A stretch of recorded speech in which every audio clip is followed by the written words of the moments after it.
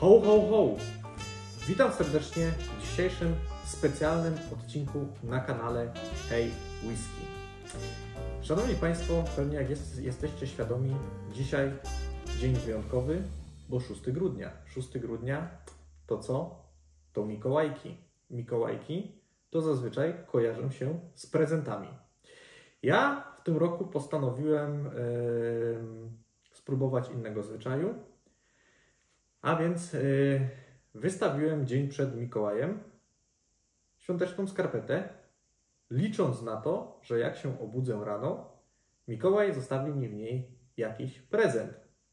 I szanowni Państwo, Eureka, wstałem dzisiaj rano, patrzę, skarpeta jakby napuchnięta. Mikołaj coś mi przyniósł. Tak oto ta skarpetka wyglądała. I co mi Mikołaj przyniósł? Jakoż by mogło być inaczej? Jest to oczywiście whisky. A jakie? Jest to singleton 15-letni. Więc dzisiaj specjalny odcinek, jak już wspomniałem, a w nim recenzja singletonu 15-letniego.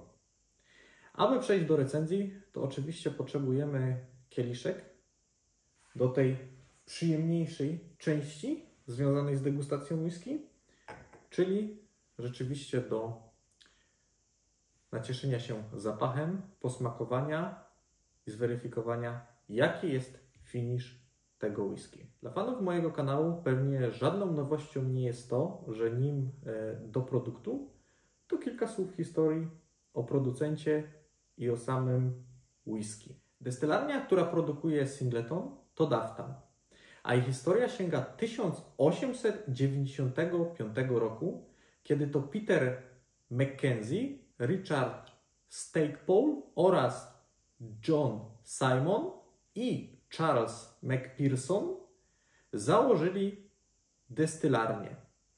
Ciekawostką jest tutaj, że została ona założona w starym już wtedy niedziałającym młynie. W samej miejscowości Dufftown nie była ona pierwszą destylarnią, a już proszę sobie wyobrazić szóstą z kolei.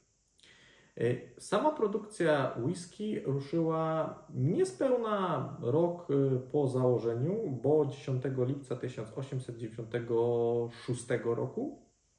W kolejnym kroku, bo już niespełna rok później, czyli w 1897 roku, destylarnia zostaje przejęta. Osobą przejmującą jest tutaj sam Peter Mackenzie, który w tym czasie już jest właścicielem jednej destylarni, a mianowicie destylarni Blair w miejscowości Pit Lorch.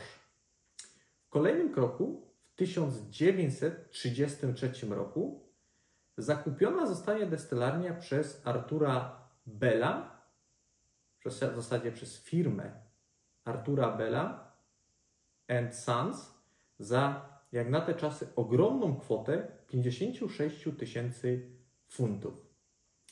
W 1974 roku natomiast y, destylarnia zostaje znacznie rozbudowana, bo moce produkcyjne zostają praktycznie podwojone z dwóch kotłów produkujących whisky do czterech. Następnie w 1979 zostają jeszcze raz dołożone dwa kotły produkcyjne. Czyli mamy sześć kotłów, które produkują dla, destyla, dla destylarni whisky. W 1985 roku natomiast Arthur Bell Sons sprzedaje swoje udziały w destylarni Dufftown firmie Giaggio. Aktualnie Dufftown jest największą destylarnią w grupie Giaggio, bo produkuje 5,8 miliona litrów whisky rocznie. Wody oraz słód oczywiście pochodzą y, z regionu, co sprawia, że jest to whisky produkowane regionalnie, ale rozprowadzane praktycznie na cały świat. Szanowni Państwo, patrząc już na butelkę, może wyciągniemy ją z tej skarpety. Skarpeta jest bardzo cenna, bo przyniosła czy chowała w sobie super prezent, także koniecznie muszę ją zostawić na następny rok. Y, Butelka jest y, raczej klasyczna, co oznacza, że na pierwszy rzut oka można tego whisky nie zauważyć na półce sklepu. Y, Znajduje się tam oczywiście y, informacja odnośnie wieku whisky. Tutaj mamy, tak jak już wcześniej wspomniałem, y, 15-letnie whisky. Y, Całość jest utrzymywana w kolorze destylarni. Butelka też same szkło. Mam osobiście wrażenie, że odznacza się kolorami destylarni. Mamy tutaj y, również informację, kiedy pierwsze whisky, czyli 1896, zostało wyprodukowane. Jest kamień milowy, czyli pierwsza, najważniejsza produkcja.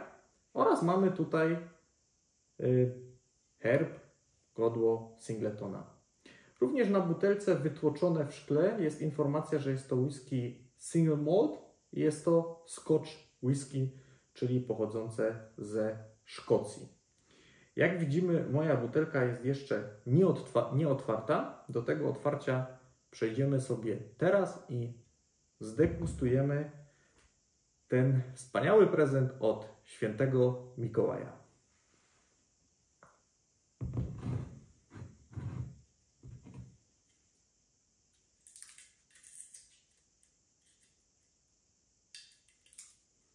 Sobie tutaj musimy od jakby odplombować.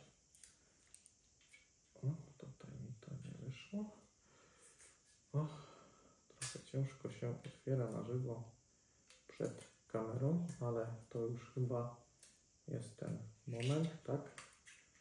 Poszło. To tutaj też nie potrzebujemy. Śmieci na razie sobie damy tutaj. Kieliszek już mamy przygotowany. Także otwieramy. Piękny dźwięk towarzyszy temu otwarciu.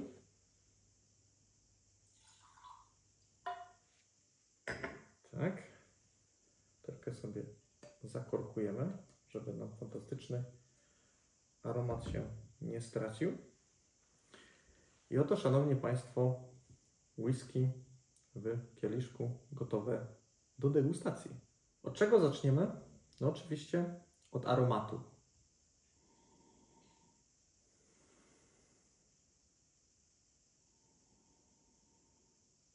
Uważam, że jest bogaty. Czuję pomarańcze, delikatnie brzoskwinie, wanilię. Ten aromat jest na pewno bardzo bogaty.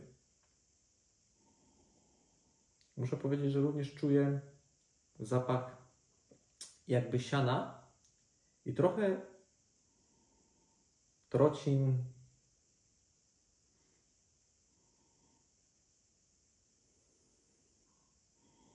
Mogłyby to być trociny nawet dębowe.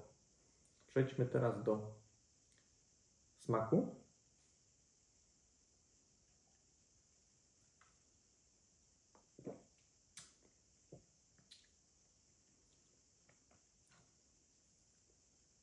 Zdecydowanie jest bardzo przyjemny w smaku.